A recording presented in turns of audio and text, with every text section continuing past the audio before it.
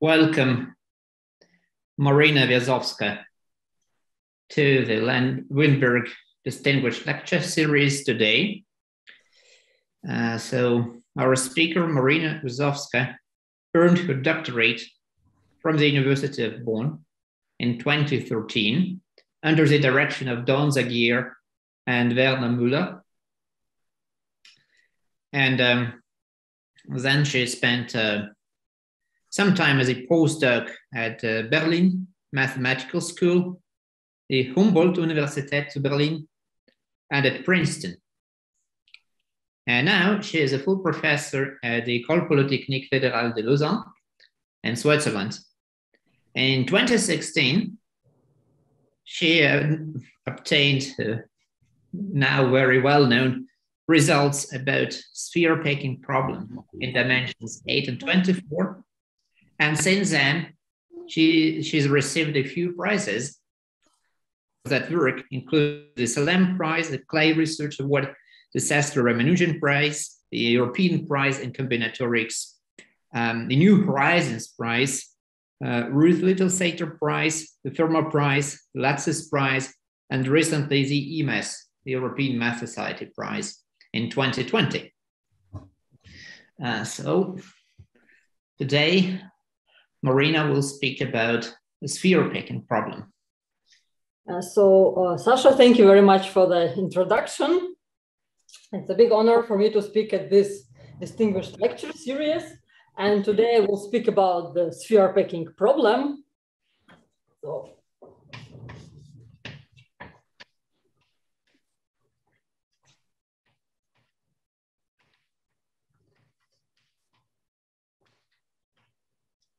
Uh, but today I will not speak about, uh, or will very little speak about dimensions 8 and 24, and will rather uh, uh focus on some other aspects of sphere packing.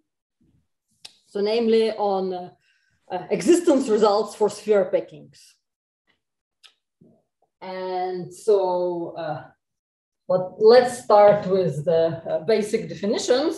So let X be a a subset of a discrete Euclidean of a discrete subset of the d-dimensional Euclidean space, and we choose uh, this subset so that distance between any two distinct point of x is at least two.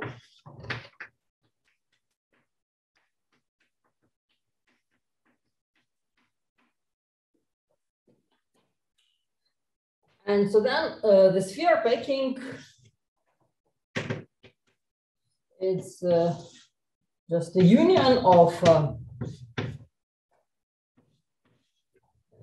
non-intersecting unit Euclidean balls. So, so here B it's an uh, open ball with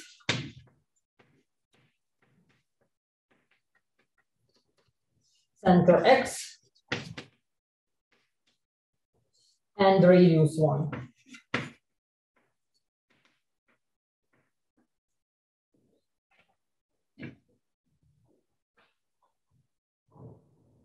And so whenever we have such a sphere packing, then what we can do, we can define the density of this packing. And so the density of a packing is defined as the uh, volume of the of all balls in the packing divided by the volume of the Euclidean space.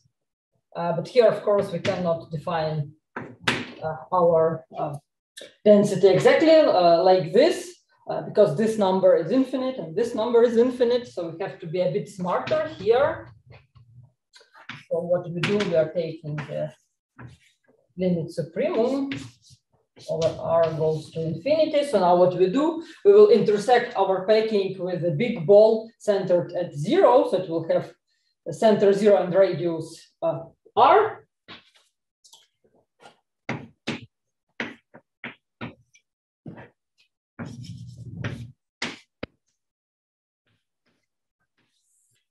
and then divided by the volume of such a ball. And then this number will be indeed good defined for all uh, packings. And so now the number we are interested in are the sphere packing constant.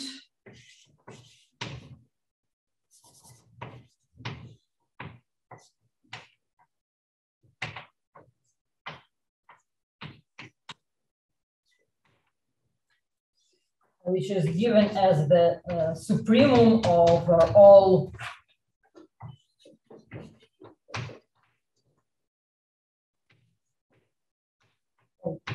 or all possible packings in the dimensional space, and it will be supremum of their densities. And so there is one uh, interesting fact about sphere packings is that this uh, supremum uh, density, it is always achieved. So it's, uh, we will uh, always have a, a, sphere packing such that uh, this limit, it's not only a limit supremum, but such a limit does exist. And this limit will be equal to the sphere packing constant. So here is the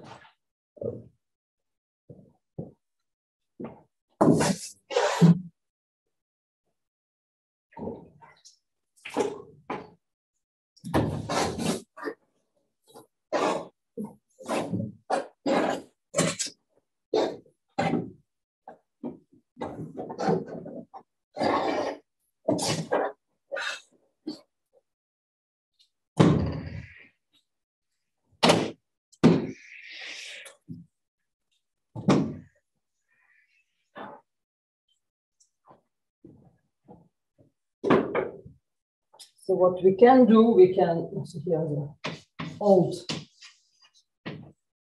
theorem.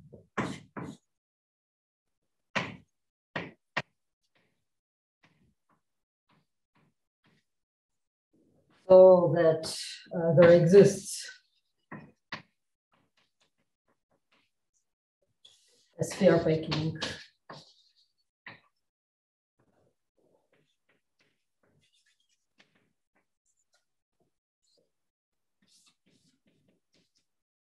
star.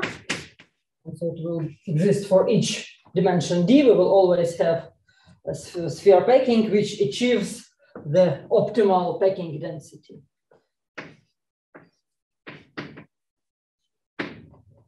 And so for this packing, we somehow all this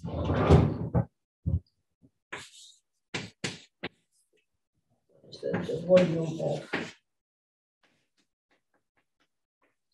are intersected with, actually here we can intersect it not only with ball with center at zero, but actually with the ball with any center.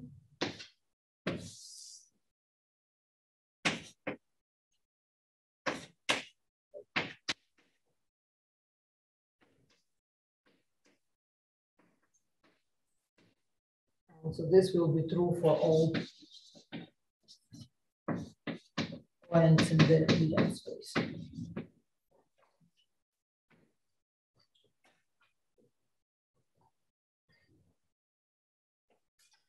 And so, of course, knowing that we have a, a dense and yet regular sphere packings or quite regular sphere packings is nice, is nice, but it doesn't, this theorem does not tell us much about this uh, question, the sphere packing uh, constant itself.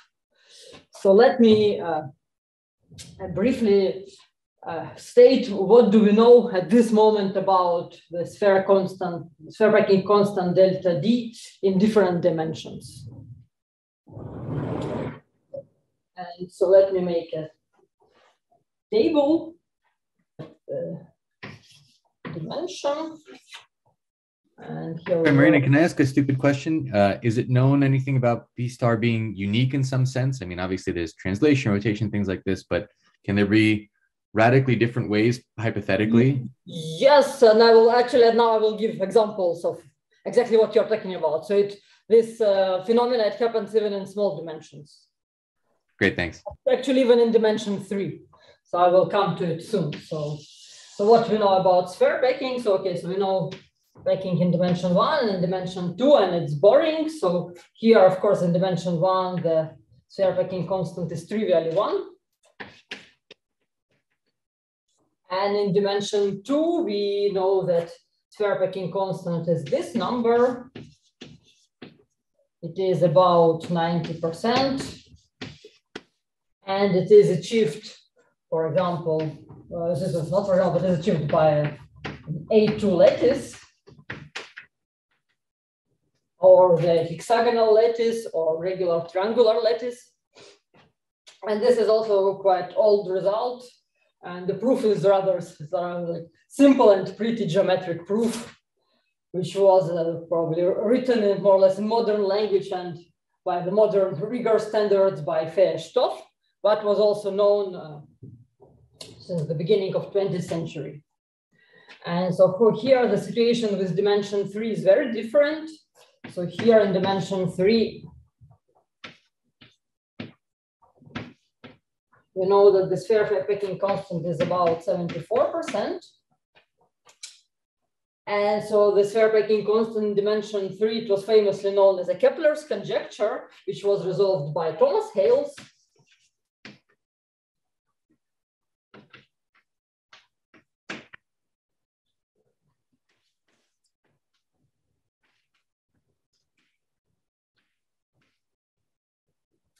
really at the end of 20th uh, uh, century. And so uh, what can we say about dimension three? It's that in dimension three, we have actually uncountably many equally dense configurations. So here one uh, solution of this problem is the FCC lattice, face centered cubic lattice. And also this uh, density is achieved by the hexagonal closed packing. And so uncountably many other geometrically different configurations. And so how all these other configurations, how, how all these configurations can be obtained, they can be obtained by uh, tessellations of uh, A2 lattices. So we can take this two-dimensional solution, uh, and here, like every disk in this uh, solution, we are replacing it by a ball in three-dimensional space, but they're all lying in plane. And now we are trying to put such planes one upon each other. And one can see that geometrically at each layer, we have actually two different possibilities uh, where, where we can put the, the new layer. And uh, yeah, so depending on our choices, we can create uncountably many geometri geometrically different configurations. And so in dimension four, it's the first uh, unsolved case. So here we don't know what the, uh, the exact answer is. So I'm sorry. Out yes? of all out of all those configurations, uh, of course, there are some which are periodic and which will have some some extra symmetry. And mm-hmm. how much are they which have a symmetry, a rotational symmetry? So how how many uh, will be lattices which are um, isotropic in some sense? Uh, probably with lattices, probably there are not that many Yes, here I'm not sure, but I think this, uh, I think there's HCP, it's also a lattice, if I'm not mistaken. Uh, but I think these are the only two. But yeah. Okay, so the only two possibilities for lattice. of having a group. Okay, but maybe I'm not, no, I'm not confident. Maybe maybe this one is not a lattice. I'm not hundred percent sure right now. So. Okay, thanks. But so uh, essentially, yeah. so there's only two which are which have lots of symmetries, which have non-trivial rotational symmetries.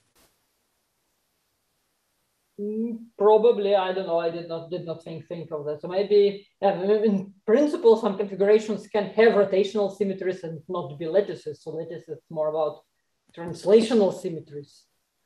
But uh, Yeah, so here I'm not, not that confident. So I, I imagine that some of these uh, uh, non-periodic configurations, or not periodic, but like not lattice configurations, they still could have maybe some uh, extra symmetries, but yeah, I'm not, not, not sure here. And so let me continue. So uh, now in dimension four, we have a, we don't know exact answer, but we have a good candidate. So this is, uh, this what the number is supposed to be. And so this density it's achieved by uh, D4 lattice.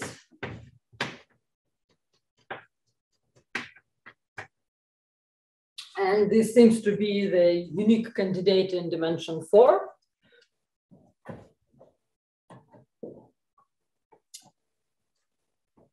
However, the uh, question is still not solved yet. And so here, let me also write an upper bounds. So upper bounds. Here I write the upper bound, which is obtained by linear programming. And it's possible that in the literature, uh, this bound already has been improved. Uh, so here the uh, bound, the linear LP bound was uh, 0647. So it's kind of, on one hand, maybe not too far away, but on the other hand, still, there is still quite a gap between this value and the best and the linear programming bound.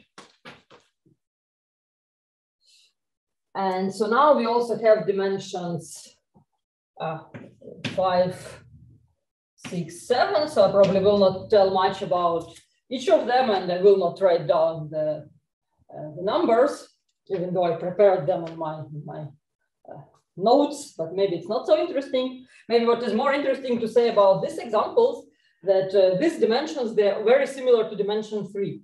So here in each of these dimensions, we have uh, uh, so, of course, the only difference is that these cases are also not solved yet. But in all three cases, the most uh, feasible, the most somehow, it's widely believed that the uh,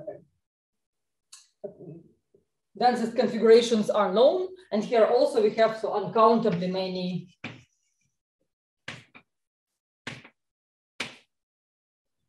candidates. and that they are obtained by, they are so-called laminated packings. So this was the term invented by Sloane and Conway, and it means that each uh, packing is constructed from lower dimensional packings by putting them one on the top of, of another in, in, in such piles. And here situation is similar to, to dimension three in a sense that when, when we are putting one uh, layer on the top of another, we can do it in several different ways. And so here we had two different uh, possibilities, but for higher dimensions, usually we have more possibilities. They have a quite nice combinatorial description. And also in each of these cases, we have uncountably many of these laminated lattices. So, they are laminated, laminated configurations. And each of these class, three classes, so there are some of them which are not lattices and not periodic, but each of these classes uh, contains at least one uh, lattice. So for example, for dimension five, here we have lattice D5. Here we will have lattice E6 and E7. So they all belong to these families of uncounted laminated uh, configurations. Um,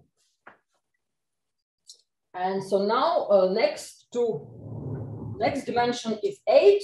And so this is the one uh, already uh, Sasha mentioned while introducing me. So uh, in dimension eight, we again have uh, one very good candidate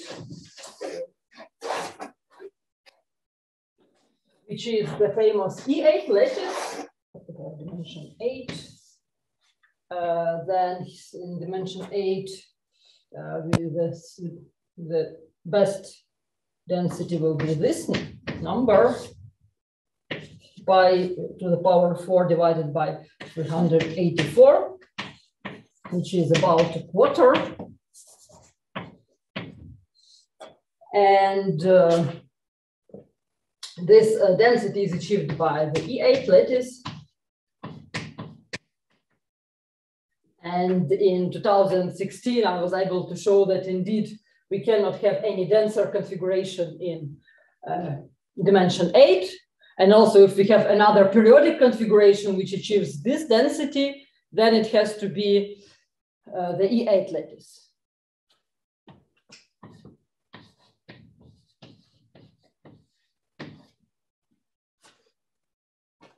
And in this case, actually linear programming bounds, they do give us the exact, the, the exact bound or the sharp bound. And so now, after dimension eight, we have dimension nine. And so here something uh, new and interesting happens, what did not happen uh, in all previous dimensions. So here again, this case is unsolved yet.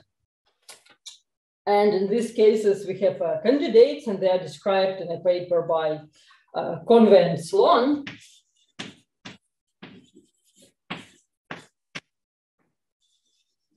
So they, uh, so, so what they have found, they have found that in this dimension, there is a certain lattice that was denoted by lambda nine.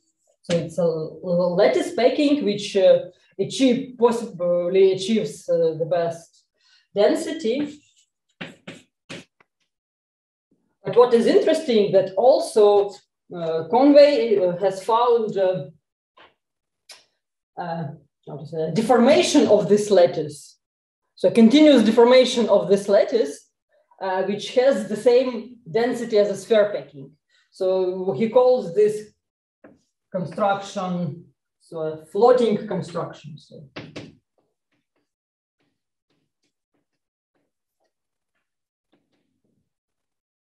Denote them by d9 theta plus and so here, theta is a certain continuous parameter which belongs in an interval, if I remember correctly, interval zero from zero one.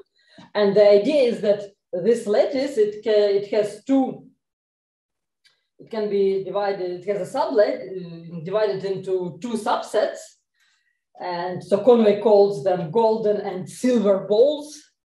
And then what he can do, he can, he could shift those silver balls so he also leave the golden balls fixed, and then all the silver balls, he could shift them by some vector, and the length of this vector was this number theta.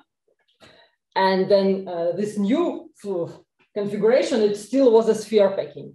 And something like this we did not have in the previous examples. In previous examples, we could have countably many solutions, but we did not have a continuous family of uh, possible solutions. And then in dimension 10, also some uh, like new interesting phenomena happens is that in this uh, dimension, we have a configuration, uh, which is not a lattice configuration, and it is better than any known lattice. So it is so-called the best configuration. So sorry, it's called the, be uh, best configuration named after mathematician whose surname was Best.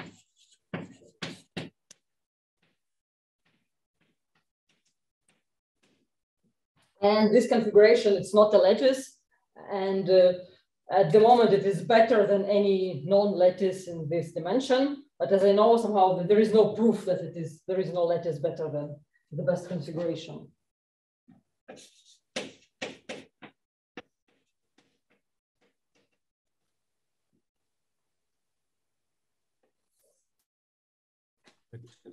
Is it a periodic configuration? Sorry? Is it I, a periodic I, configuration? I think so. Yes. Yes. So as I remember it, it is a periodic configuration because you know creating something non-periodic is just very difficult. It's difficult to think of something unperiodic. Mm.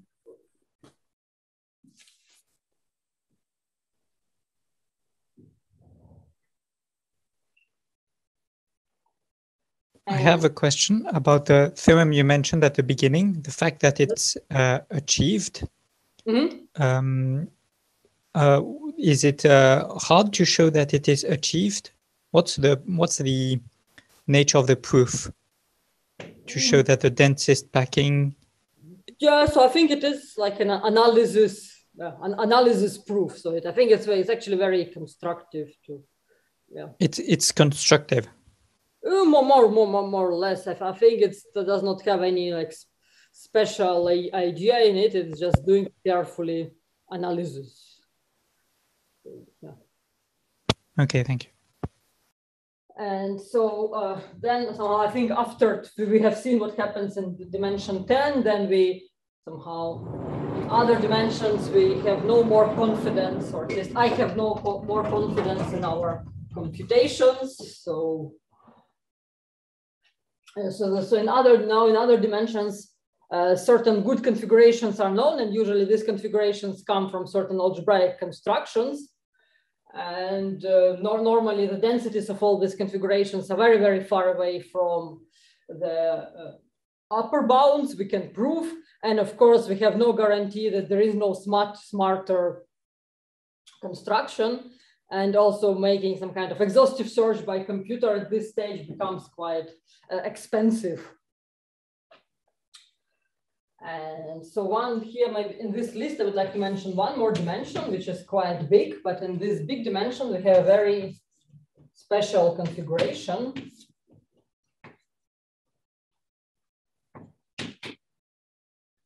So this here, in dimension 12, we have a Leech lattice. Oh, sorry, in dimension 24, we have a Leech lattice And so this lattice has this density, which seems like a really small number, even though for dimension 24, it's actually, it's very good. And so the density of Leech lattice is in absolute terms bigger than the uh, best known uh, packing configuration in dimension 23. Uh, so uh, and so this is another uh, case which is already solved. So this is a theory joint work together with uh, Henry Cohn,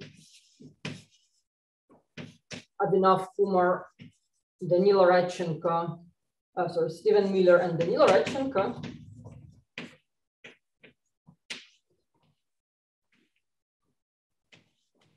So we have shown in 2016, we have shown that the densest configuration in dimension 24 is the Leech, the configuration given by the Leech lattice. And also if uh, there is another periodic configuration achieving the same density, then it has to be also the Leech lattice packing.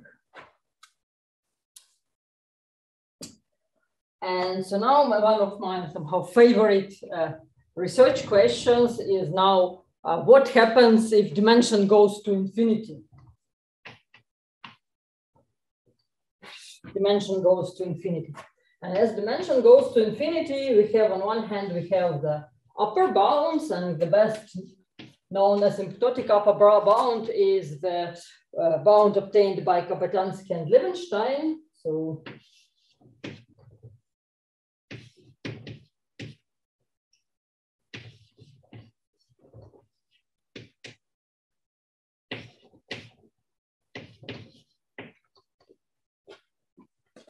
And so when dimension is big, this bounded uh, decays exponentially is in D uh, with this exponent, which is some uh, numerical value, uh, which is driven by asymptotics of uh, uh, the thing, the, the first root of Gegenbauer.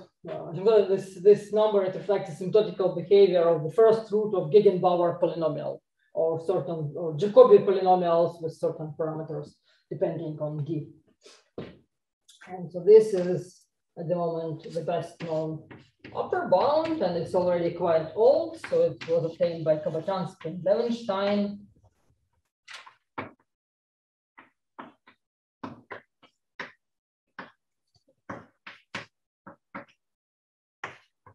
In 1978 which is quite long time ago. And since that time, the improvements have been only here in, in a constant term. So I think few years ago, so this bound, the, the original bound, it was multiplied by, by a constant, I think by one half. And so another very interesting question is about, uh, so how can we construct very dense configurations? And constructing very dense configurations is actually, uh, so on one hand, it's easy. It's very easy to construct a sphere packing with uh, density 2 to the minus uh, d. And so, for example, this density is achieved just by saturated packing.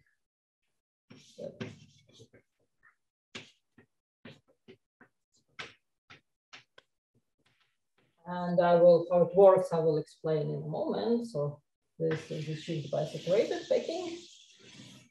And now with some extra work, what we can do, we can also uh, multiply this by d and by some constant. And so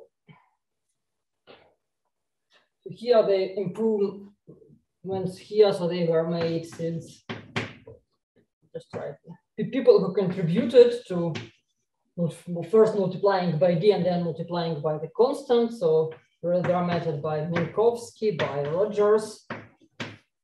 So this is 19th century. This uh, Rogers wrote his papers uh, in 1950s. Then the Clive Paul in he proved the following bound so that he proved he obtained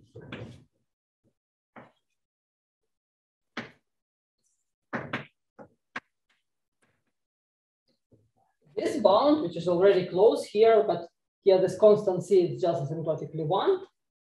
And then Stephanie Vance found an improvement for also multiplied this number by another a bigger constant and finally, the uh, Venkatesh. Uh, the work of Stephanie Vance's was in 2012 and the work of Venkatesh was in 2013. So what Venkatesh have done, he have made this constant in front of uh, the formula really big.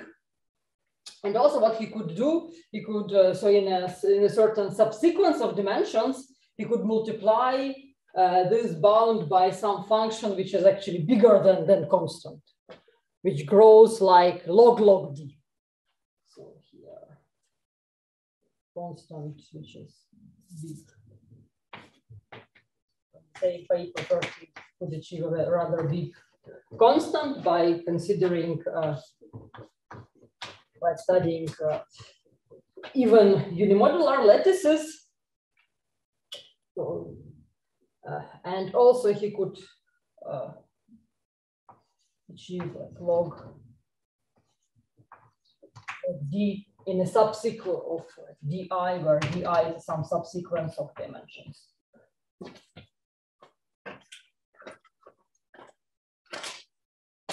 And so what I would like to talk today, I would like to talk about this result of Venkatesh and how he obtained this log, log d uh, uh, result because uh, this result that exploits the idea of symmetry. So he did so by considering certain symmetric sphere packings. And also I would like to talk about possible generalizations of uh, his construction. May I ask a question? Uh, yes. Yeah, so the, these examples, this uncountable set of examples in dimension three that are produced using layers, I sort of envision it as uh, basically you're looking at, um, well, you're looking at digits, right? You're deciding which way you want to put the next layer. And so the way you get an uncountable set is basically by you have two choices here, the next layer you have two choices, and so on. Mm-hmm. So if you were to put an equivalence on such packings by saying, let's take a ball of finite radius, which is kind of like saying, let's only look at a finite number of digits, then they should all be equivalent in that ball, or there, there should be a finite number of equivalence classes in that ball, right? Okay, but what I'm getting at is um, when you went to nine dimensions, you said that there was a continuity to it. So if you have that same sort of measure, there should still be an infinite number of, of examples, all with the same density. Uh, yes, it was possible. It was possible to divide this packing uh, into like two sets of balls and then move these two sets like uh, bow continuously the, with respect to each other. Yeah, yeah. So that's very interesting. So there's a very different type of infinite infinity uh, there. Yes, yes. Yeah. Okay. Thank you.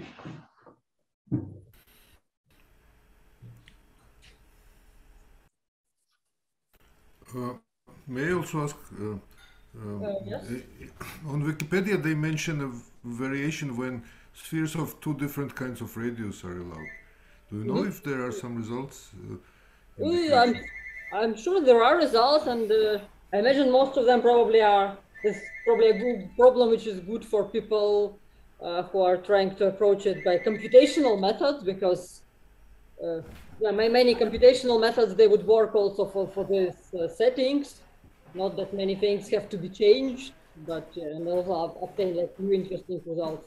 I imagine many computational methods or maybe also models like this being actually relevant for people doing physics or chemistry. Or, mm. so I think they're probably better studied from uh, by the applied community. Mm. Thank you. May I ask another question? Oh, yes, yes. That example in, in, in 10 dimensions that you were talking about, can that one be modified to give an infinite set as well, or is it unique?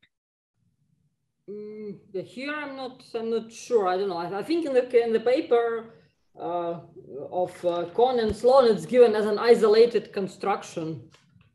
But, uh, but I don't know how much time they gave it. They tried to somehow improve it or to find different configurations. I see. Okay. Uh, but it seems to me that it's given like a, a, unique and isolated thing, but no guarantee that there is nothing as good. So, so there was no obvious like sort of translation somewhere in there where you could sort of sh- well, I, I don't know. I don't know if you talk speaking, it can be obvious. Uh, I don't know. For, for me, other constructions they have, they also look quite unobvious. uh-huh. Yeah. It's surpri- I mean, that one is. Uh, I just looked it up because I was uh, interested. It's from the '80s. It's from 1980, so it's 40 years old. Uh, yes, yes. And no one's yeah, found anything better.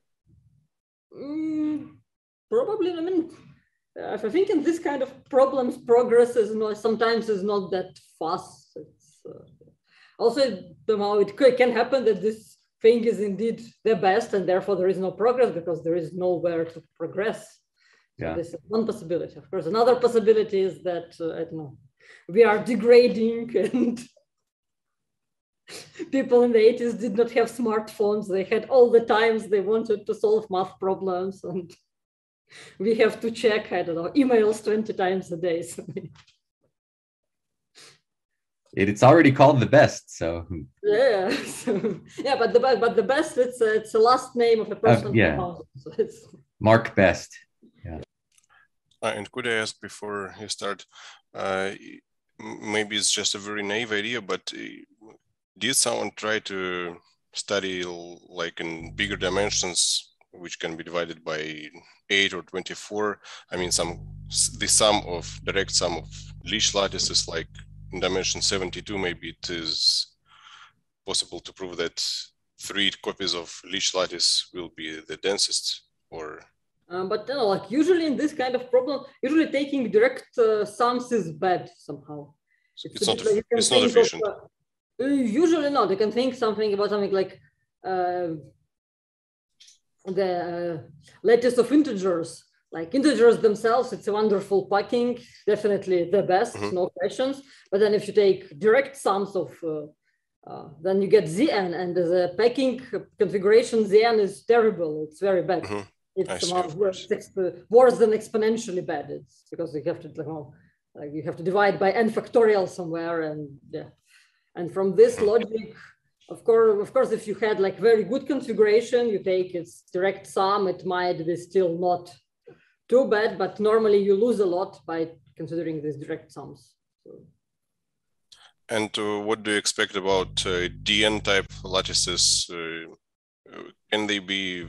I, I, think I think all of this like uh, all, all, they are uh, somehow exponent, exponentially they are as bad as ZN. Mm -hmm. Okay.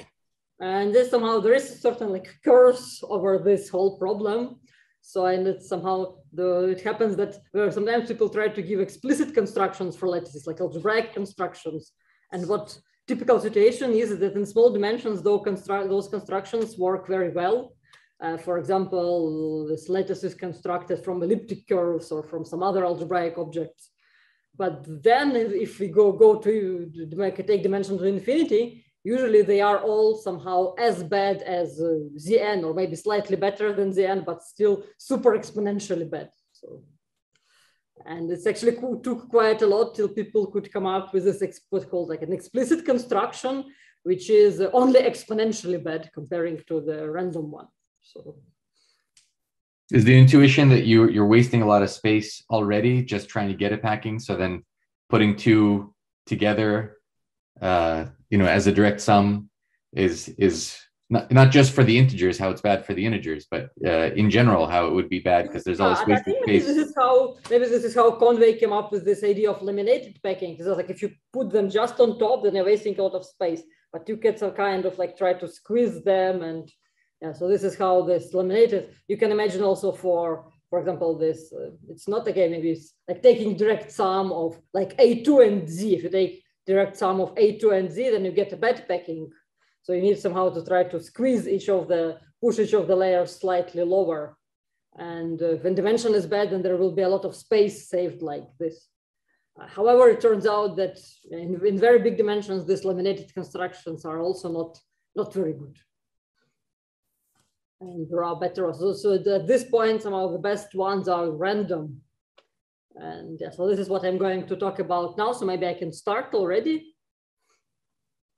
And so let me uh, first uh, tell, give you like an easy way how to construct good packings. And so it turns out that somehow greedy packings are good packings. So, so I will say that uh, packing P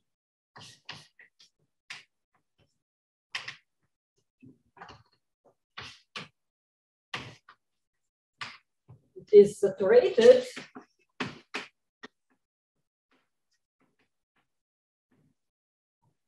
if we cannot add a single new ball to this packing.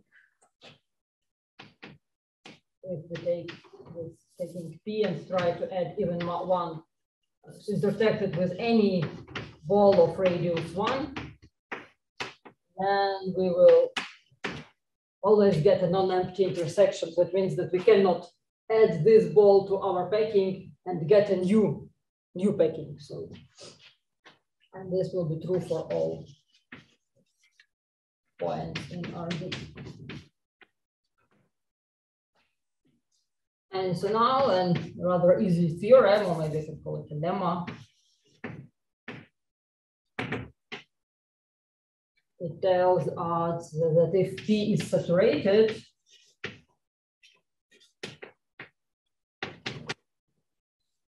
uh, then the density of P is at least 2 to the minus D. And so now why this happens, because we see that if our P is union of or some axis. It's separated.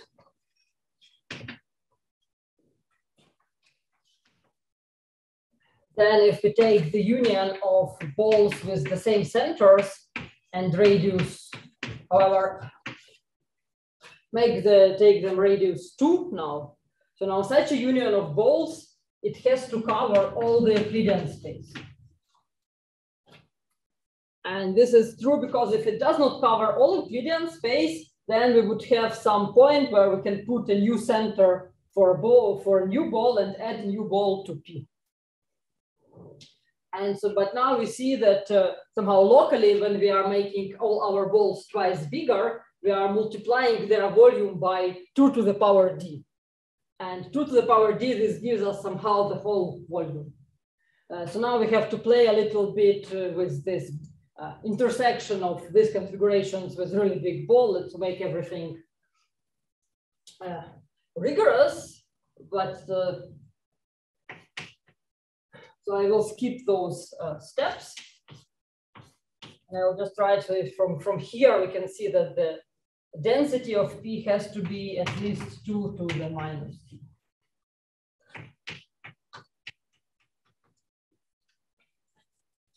So you see that getting uh, 2 to the minus d is actually very easy. And now what we will have to uh, work hard for is for d times uh, log log d. So this is what requires a lot of work. And so, uh, but before we come to that, so let me give you another way how to obtain uh, also packing of density 2 to the minus d. But uh, this time we will speak not about uh, uh, any packing, but about lattice packing. So how to obtain lattice packing of this dimension. So here the theorem. So, and this theorem, it was somehow goes back to Minkowski, then also Hlawka gave a so this is 19th century, then Hlawka worked at the beginning of 20th century and gave some like a different proof of the same theorem. And then the same method was uh, somehow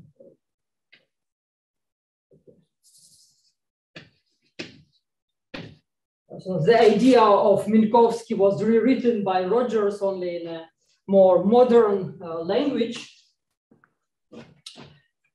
Uh, and so the theorem tells us is that uh, uh the sphere, the, uh, the sphere packing constant, so will the delta d was the sphere packing constant, let's denote by delta d lattice the supremum of the uh, packing densities over all lattice packings.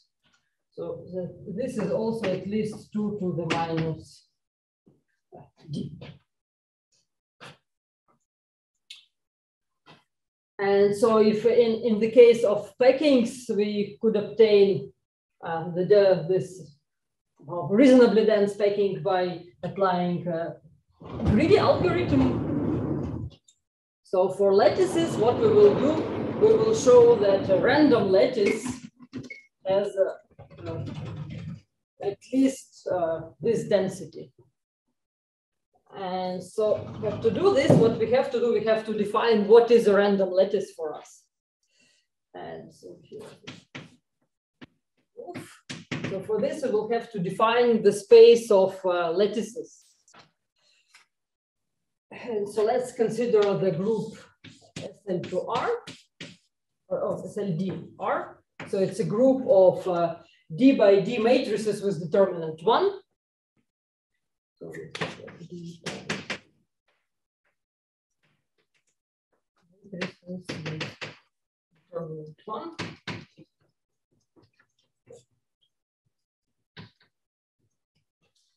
And so inside of, so this is a group, and inside of this group, we have, uh, first we have a discrete subgroup, SLDZ. So this is the a group of all matrices with integer coefficients and uh, determinant one. And also another important thing we have, uh, so this group, we have a Haar measure. So it's measure which is invariant under uh, right and left multiplication. So mu would be the Haar measure.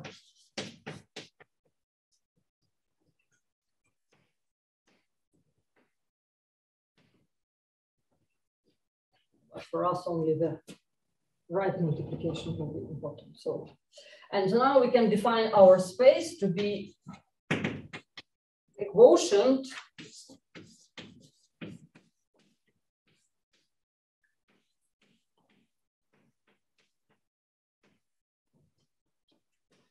And so uh, now what happens is that first this the volume of if we compute the Haar measure of uh, uh, this quotient, so now it will be uh, finite. And so we can normalize our Haar measure so that uh, this measure is actually one.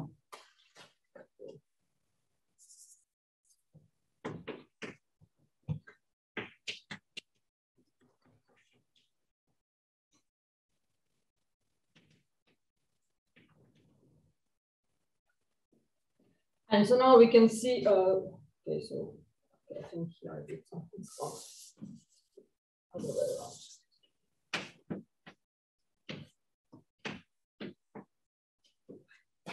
Uh, so now we have to see why is this uh, the, so now this will be our space of uh, random lattices. So now how do we, uh, so we have, if we have some element in uh, this uh, space, then we will associate to it the following lattice. This will be uh, the set of uh, G acted on all vectors L, where L is a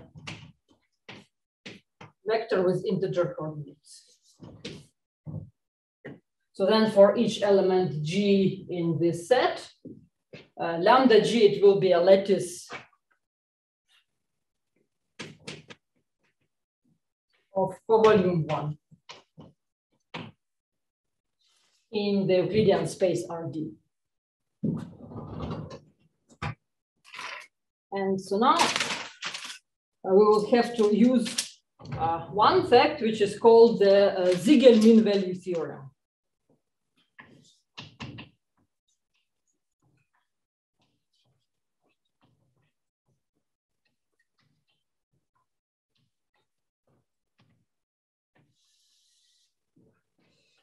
Now let f be a function on d-dimensional Euclidean space. And we suppose that this function is measurable and that it has compact support.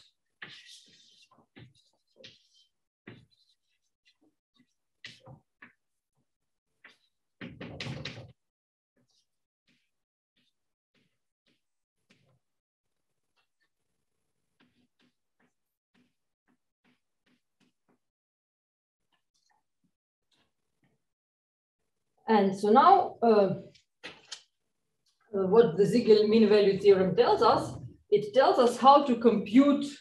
Uh, so now what we are doing, we are taking uh, uh, sum over some lattice of our functions. Oh, okay, the only thing we want to do, we are taking some over lattice without zero. Zero we are throwing away. Uh, so we are taking this uh, sum over uh, lattice without zero. Now what we want to do? Now we want to change our lattice here uh, to be an element of this uh, space with measure. And we want to compute this average value. So now our lattice, it will depend on this element G and G will live in this, this quotient space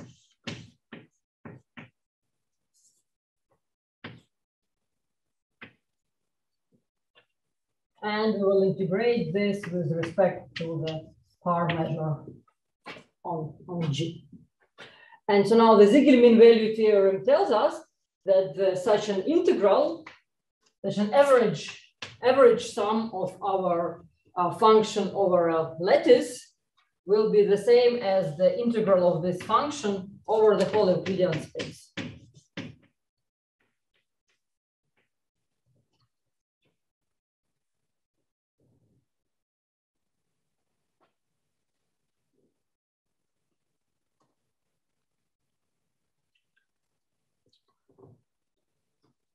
And so, and so this is a result which was somehow uh, known to uh, Minkowski and described by Minkowski in his own, uh, in the terms of the, in the language of his time, and, but then also written down by uh, Siegel in a much more modern form. And so now we are going to use this theorem to prove uh, the existence of dense lattice packings. So now we have to, what we have to do, we have to choose an appropriate function f. And so now, so, so we are fixing, uh, choose, take a real number r, positive number r, such that the radius or the ball of radius r will be a ball of, of volume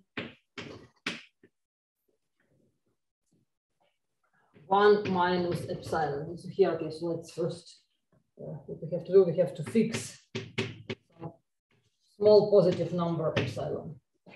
And we choose a number r such that the ball of radius r will have volume one minus epsilon.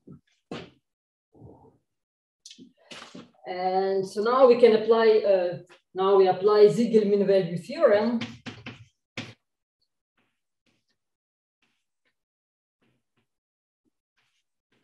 the following function.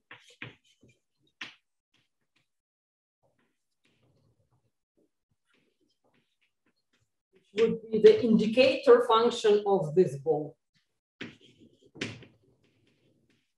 It would be one if x is in ball.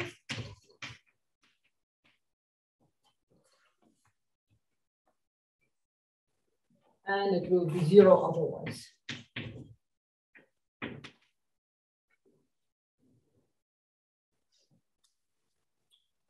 And so now we see that uh, by uh, uh, Siegel mean value theorem, the average of uh, the sum of such a function over, over all lattices, it will be equal to the integral of this function over Euclidean space, which is just the volume of this ball.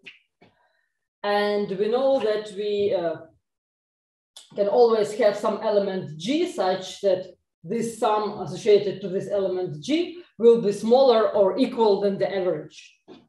So it means that there is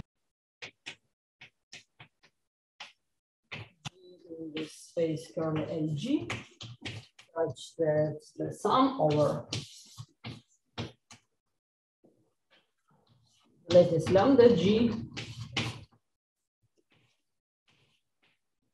smaller than uh, 1 minus epsilon. Uh, but now uh, we know that uh, our function, it was an indicator function. And so if its value is smaller than 1, then it has to be 0.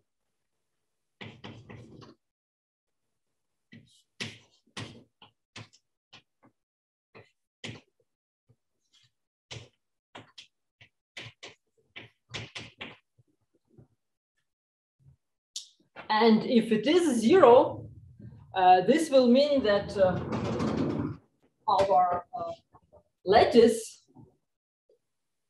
will be a, a uh, will give us a good packing configuration. So our lattice, it has point density one, and we can take those centers and put in those centers uh, balls of radius r divided by two, and we will obtain a sphere packing.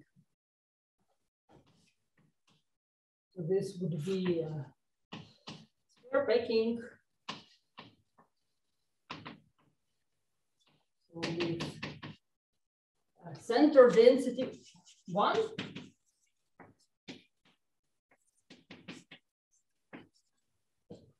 And volume density of this packing uh, would be, and the density as originally defined, it would be one minus epsilon times uh, two to the minus d. And so we again obtained two to the minus d. And so it seems like now we have done something much more complicated and obtained result, which is uh, with this epsilon, it looks even slightly worse uh, or in the best case is the same. So maybe one thing I want to tell you that indeed, actually here we, we did gain something new. And that's uh, because here we could easily replace this one by two.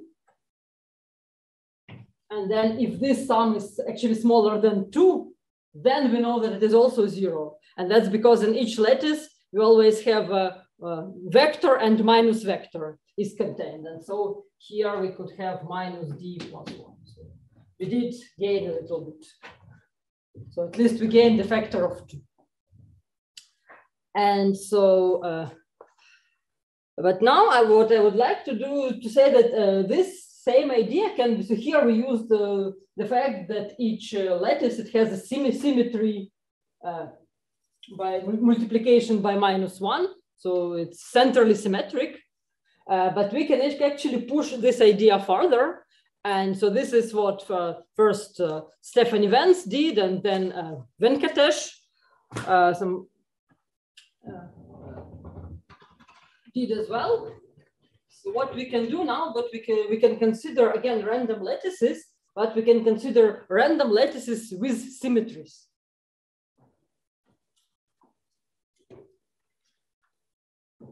And uh, the kind of symmetry was the symmetry of uh, uh, cyclotomic fields. So, now, so the, what I will be writing now, so this is the theorem proved by Venkatesh in 2013. And so the proof goes as follows. So let K, so let psi be uh, a u, u, root of unity. So a complex number and we consider the cyclotomic field. So this would be the field of rationals adjoins this root, the primitive root of unity. And we know that this uh, will be a number field and its degree over Q would be equal to the phi of n. So this is the number of the Euler's totient function of n, which is the number of classes modulo n, which are co-prime with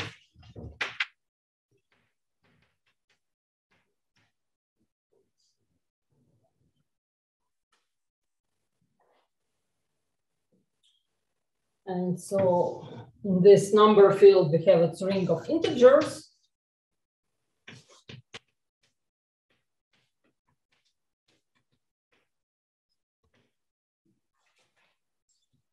And what will be important for us is that in the ring of integers, of course, we have uh, the group of uh, roots of unity.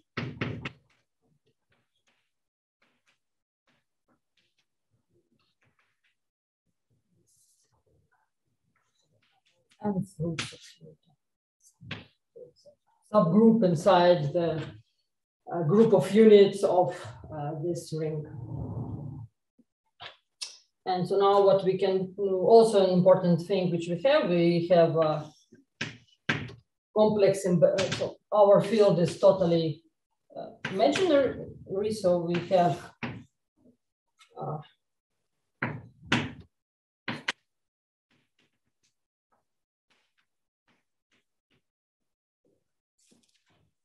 phi over n over two complex embeddings of our field. And so here, uh, the, this all embeddings, they are uh, for, for, for each embedding, of course, we also have its uh, complex conjugate. And but among this phi n for phi phi n, we don't have any pair of uh, embeddings which are complex conjugate to each other. So from each pair, we are choosing only, only one. And now we have a standard embedding of our field into complex uh, space of dimension phi over n divided by 2. And so this number we will note it by d. And so this embedding works in the following way. So if we take a number x in a field, then we map it into the vector of this complex consisting of this complex embeddings of this number.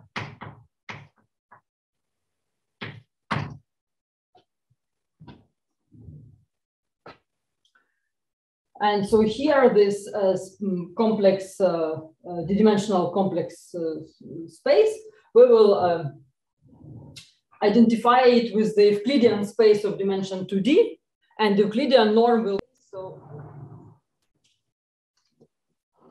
Euclidean norm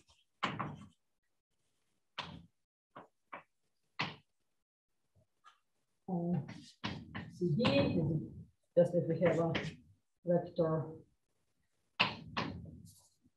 psi, which is equal to psi 1 d.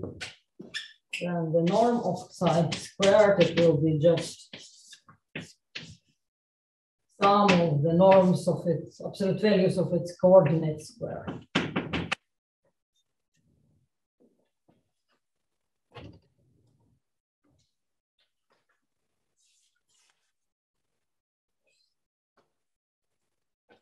And so now what our goal is, it's to, uh, and of, of course, what is also true is that now our uh, group of uh, cyclotomic units, it will be also acting on this space. So first is that, we, course, we can embed our ring of integers uh, in this way into this space, and we will get a lattice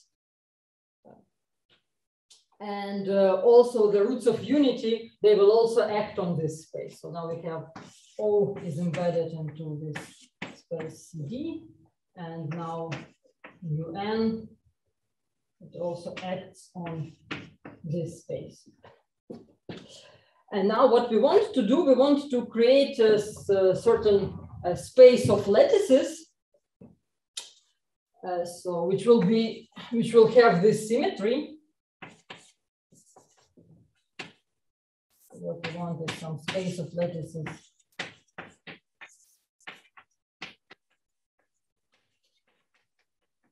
With this mu n symmetry.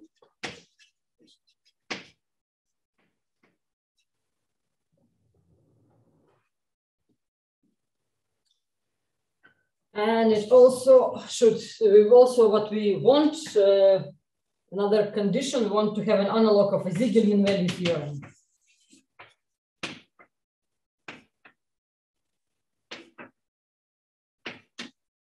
is uh, supposed to be true for this particular space of lattices.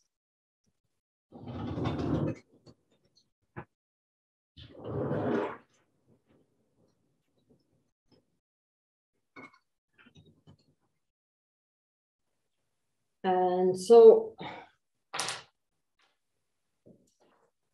how do we do this? So for this, uh, uh, we have to do a compromise. It turns out that it will, will be very difficult or maybe even impossible to do this in dimension D. Uh, so we have to go to the dimension at least twice higher. So we have to consider a space of dimension twice bigger. So this is a construction by uh, Venkatesh. So he considered a um, space, so he considered uh, his, um, so, so we will work in this space.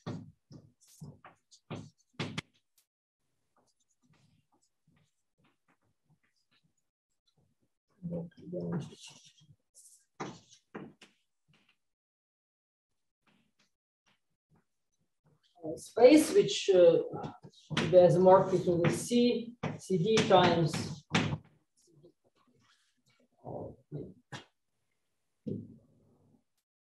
with the same Euclidean uh, norm, which we have already defined before.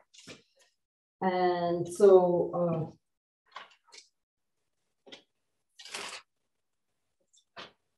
Uh, so now we will see that this group will consider the group of two by two uh, complex matrices with determinant two, with determinant uh, one, and raise this group to the power d. And now this group will be acting on this uh, space. Here maybe it may be more convenient to write it down as C2 to the power to the power D.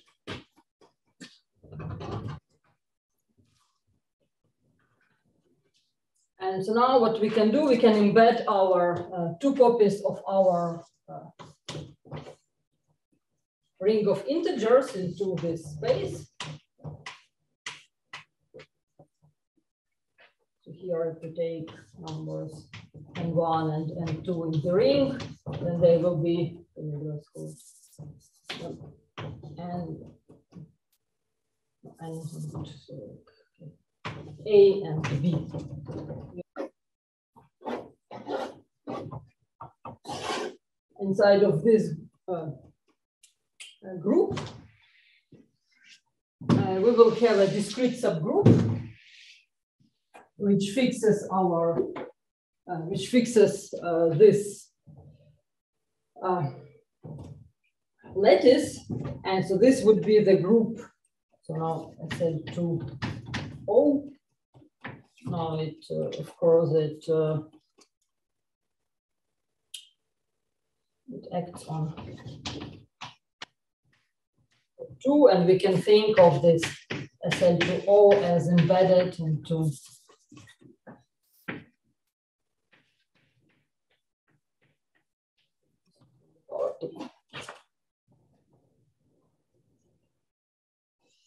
And so now the space of uh, lattices, which we consider it will look like this. So we'll have this space.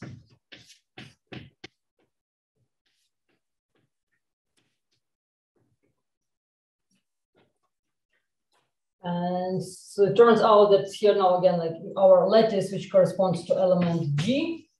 So this would be uh, G acted on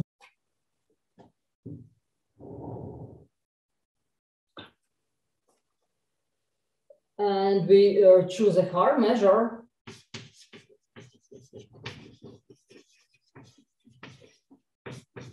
This can be normalized such that the Haar measure of lambda B would be uh, lambda.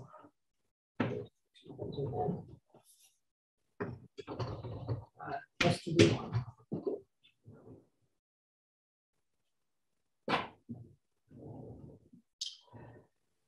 Um, and it turns out that for uh, in these settings we also have a Siegel mean value theorem. It's still true. So.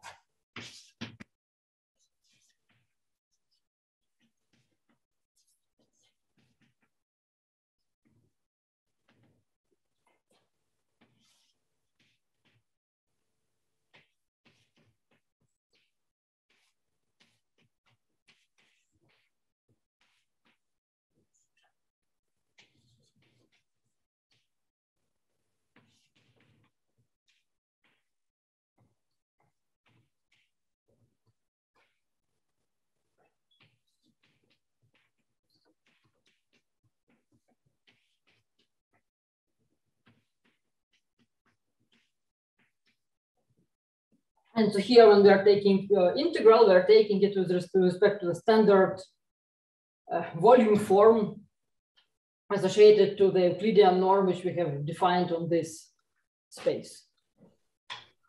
So can I ask, in this setting, it seems like he really is taking O and placing it against itself in exactly the way that we were saying wouldn't be optimal, but it's he has to take a second moment.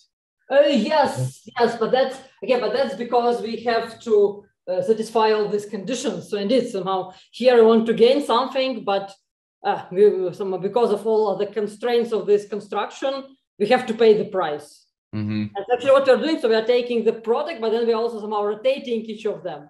So we like we have to these two products, but we also have a uh, this group that actually acts somehow be, placed between these two, like uh, uh, I don't know how to say two. Hmm, slices or something. Two, two, two, two parts of our product, yes. Great, thanks.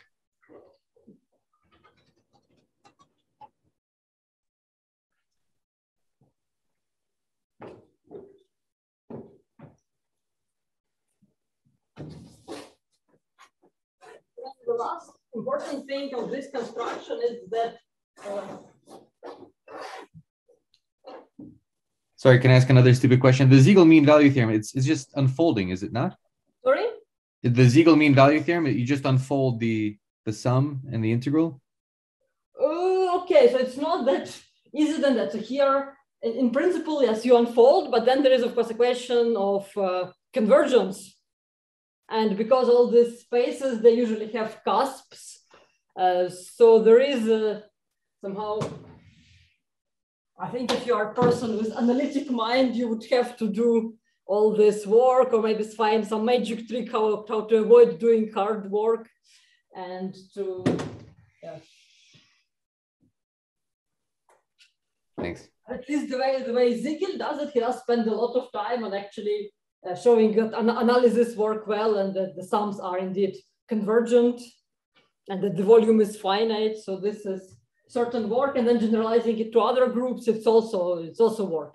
Somehow, like luckily for us, this lots of this work has already been done before by people like Siegel himself and then by Borel for other groups. But uh, that's not no no not no not very easy. And so uh, so the Siegel mean value theorem works in this case and. Uh, Another important aspect is that now this group mu n, it acts on, on our lattices lambda g uh, diagonally. Okay, so one is diagonally acts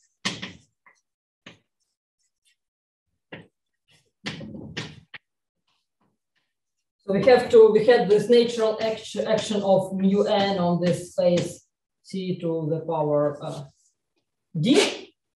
And then the space we are working on now uh, is that now, of course, is cd. And here, here now we consider the this action to be uh, inherited by this one, so it's simply acting on each component. So diagonal action on each of the com components.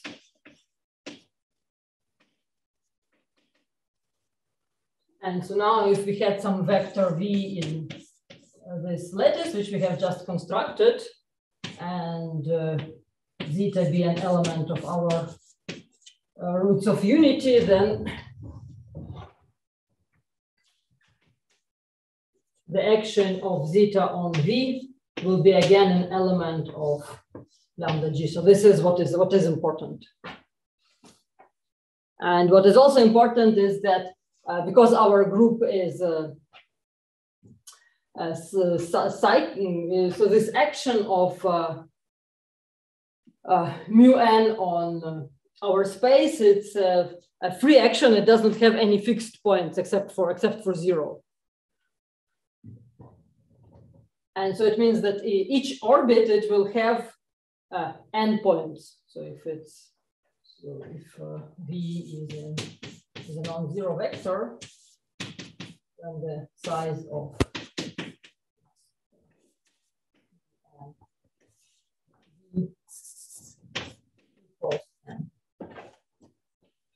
And so now we are ready again to use uh, our uh, mean value theorem. So this time what we do now, we uh, again fix epsilon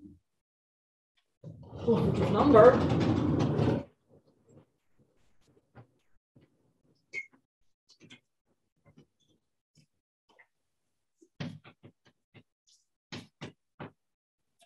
And so we now we let R be a real number real positive number such that the ball of radius r in the space of dimension 2d has volume which is the size of un minus epsilon, which is again n minus epsilon. And so now we apply Siegel-Mean value theorem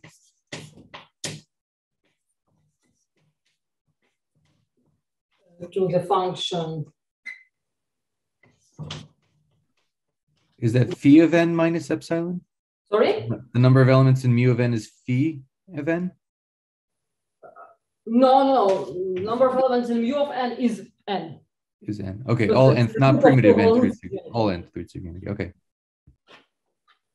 So the, the degree of uh, of a field k over q, that's phi of n.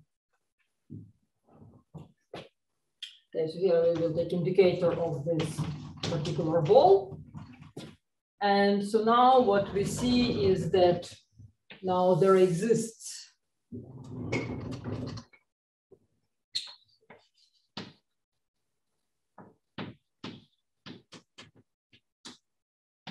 G in our space and N such that uh, the sum over uh, G O squared of the indicator functions.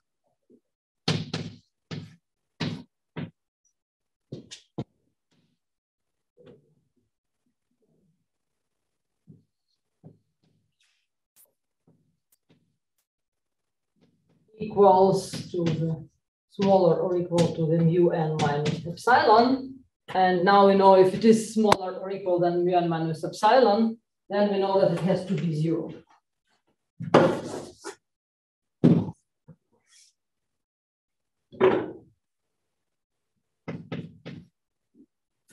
So here's one more important uh, aspect which I did not say. So I told that each point each point has at least n points in its orbit, and also that uh, uh, we know that uh, mu n, the action of mu n respects the scalar, the absolute, the Euclidean norm we, we have chosen. And so if we have uh, one point inside of a ball, then all its Euclidean orbit also will be inside of the ball. So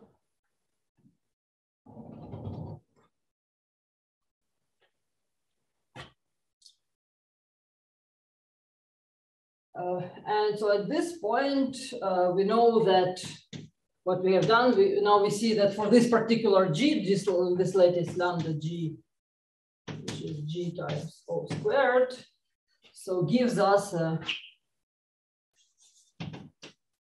gives us a packing with the following density. So this density will be at least uh, the number of elements in mu n. So I, uh, I forget about epsilon because we can take epsilon as small as we want, times 2 to the minus 4d. And that's because the real dimension of our space will be now 4d. Uh, taking Yes, and, and our um, so now what we can how we can summarize this is that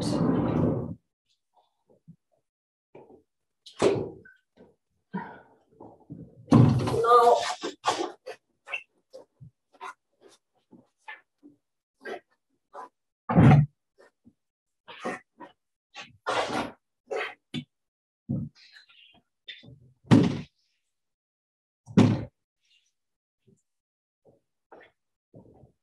we see that uh,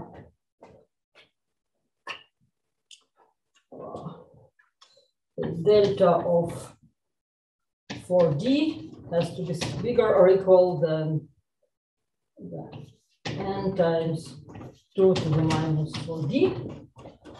Or in other words, we can write is the delta of 2 phi of n is bigger or equal than n times 2 minus 2 phi of n. 4, but it's 2 times phi. And so now we see that we obtained this uh, uh, this term here, and which will asymptotically it will grow like some constant times log log of um, So yeah, so what I should say that for now, what we can do, we can choose this n to be if our n is a product of many distinct small primes. Uh, then if we are comparing n against phi of n, then it will grow like, like this. So we have obtained this non-constant win, what we wanted to get. As well, the dis disadvantage, of course, is that uh, we obtained it not for all dimensions, but for uh, some rather strange arithmetically defined subsequence of dimensions.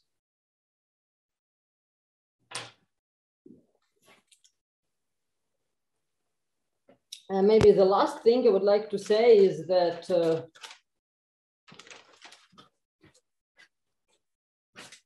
uh, uh, so uh, PhD student in my group, uh, Nihar Gargava, he generalized the method of Venkatesh to work also with other division algebras.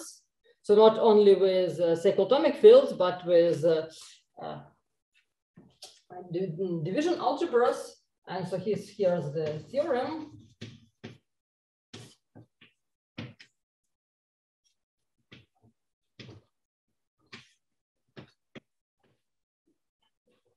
Let D be a finite dimensional.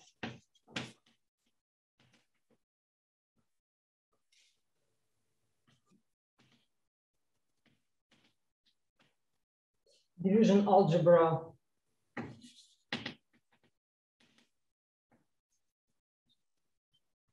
Over Q. And we suppose that O is some order in this division algebra. And G, it's a finite subgroup.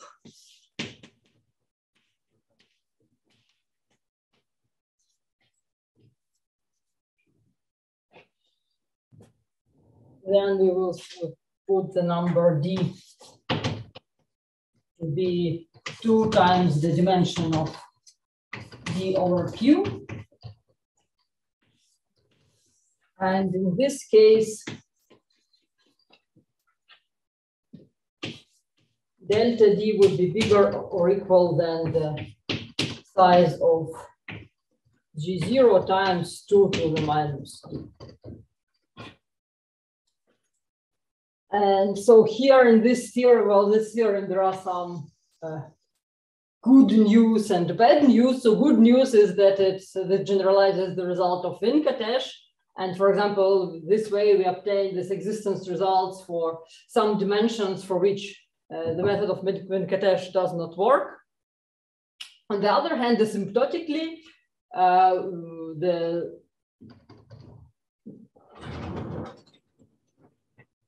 uh, still could not beat uh, this, uh, okay, so this, this sequence.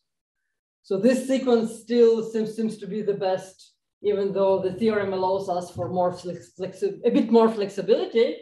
Uh, but uh, so actually the groups G0 like this, they're actually classified. They're called Amitsur groups. And so there are not only, so for example, like a cyclic group, of course, will uh, fall into this category, but they're not only cyclic groups, there are some more classes, but not too much. And for each of these classes, it seems that uh, what Nihar could get is was rather uh, so this uh, improvement of the what looked like uh, log log of the dimension times to some constant where a constant was smaller than one, some explicit constant like 724 I think. So yeah, so this is all I wanted to to tell you. And maybe maybe the last thing is that I still think that like this problem of uh, proving existence results for uh, sphere packings. It's a very ex exciting topic, and you see, little has been done since Minkowski. So yeah, maybe maybe it seems like it's something exciting to, to work on, and to maybe this is where we need more ideas.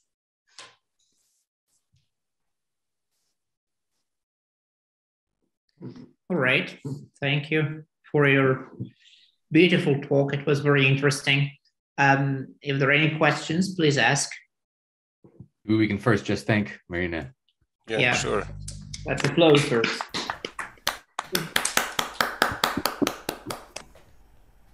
Any questions? I I have a question or comment. Perhaps one can try a mixture of division algebra and number field, like you take a division algebra over a number field, Mm, which is pretty natural object, you know. mm, yes, yes, maybe, maybe, maybe. Yes, so there are many things to to try here. Uh, So we hope, we hope that we maybe we can squeeze something more out of this. It could be because you have more freedom. Yeah. Sorry. Can I ask a really stupid question? So, um, I mean, there's the theorem, but has anyone tried to turn this idea into an actual, like in dimension 10? So phi of 11 is 10. Has anyone tried to beat Best's packing by this just numerically? I, I, I imagine that they did, and probably, probably. I mean, for example, when I, yeah, when, when uh, worked on this project, so he wrote like a bunch of programs which compute these numbers in different dimensions and compared them to. So I'm sure if, if it could beat something in dimension 11, then he, he would get a I good okay. result. Pro- but proper, probably it does not really work. So pro- probably it doesn't give give give very good result. Uh, because it's- Venkatesh is asymptotic. yeah, Sorry? so like, I think uh, so. Usually, all the, this kind of constructions they look. Uh, uh, so what, what happens here that some of these algebraic constructions uh, they can work in very small dimensions, uh, and uh, then usually they somehow become. Uh, so it's all the matter of scale, so to say. Uh, I think in, in very small dimensions, usually by hand, people have already constructed something better. And uh, then it's in like in if dimension is I don't know maybe up to 100 or 300 then maybe computer can find something by some kind of know, gradient descent or random search. And it's hard to beat that theoretically and then when dimension becomes like I don't know maybe 1000 2000 3000 this is when some methods like this they turn to be the best and also, yeah, also what often happens to some like much smarter algebraic. So this is like random algebraic constructions. And there are also explicit algebraic constructions. And very often those are somehow good in a certain range of dimensions, like between, I don't know, 100 and 200, they might be this kind of random argument, but then eventually they become super exponentially bad and this still stays good. So it's, uh, yeah. but I think 10 is very small dimensions. So in, in this kind of very small dimensions, yeah, some some other prob- probably best construction would be would be better. Thanks.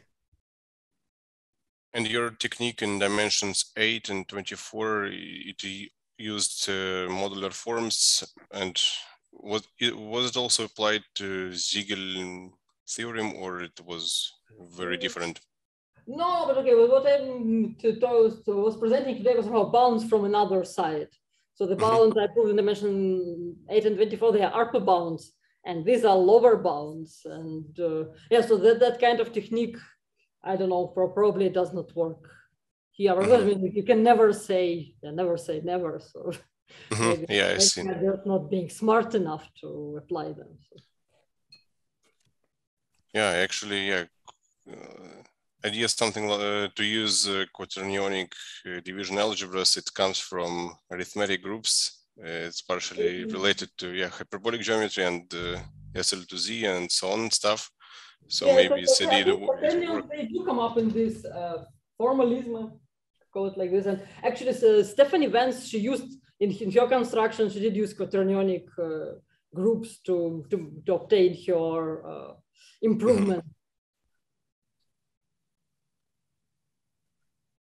Are there some analogous re- results for hyperbolic spaces? Mm, Yeah, like for example, analogous to your eight dimension eight and dimension 24. So in, in particular, you have 240 generators, which corresponds to canonical polyhedron in, in, in hyperbolic dimension eight. Mhm. It's a kind of reflection group in, in right angle polyhedron. Uh, uh, yes, I'm sure that there are there are many many connections. but uh, yeah, maybe maybe it's maybe then it's important to be like more I don't know, yeah, more pre, pre, precise precise precise. So I I, feel, I think actually so, so Sasha Kolpakov he had some results about yeah I saw it I, I saw hyperbolic space yeah. and probably he knows better than I know how to work in there and yeah. I see. Perhaps Vinberg's chapter in Conway-Sloane book mm. tells something about the connections. Uh, so yes. Weinberg wrote a chapter in oh. in the book about, uh, about sphere packets. Uh-huh. Yeah, but it's quite elementary. I saw it. Wow. you wanted to be non-elementary? no, I don't know, but I think in, in this area, like I don't know, it seems like in this area, progress happens somehow slowly. And yeah, so many, many ideas are somehow elementary. I see. Mm-hmm.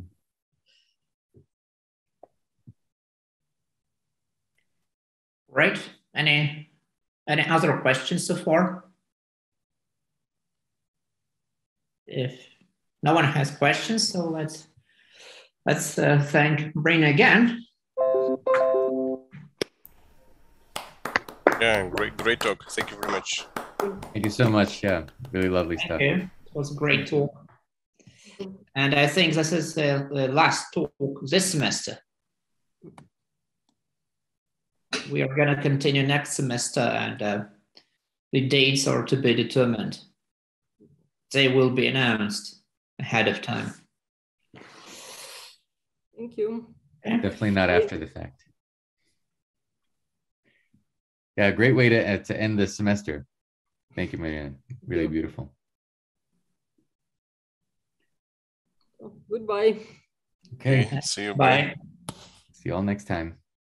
Yeah. See you next year. next year.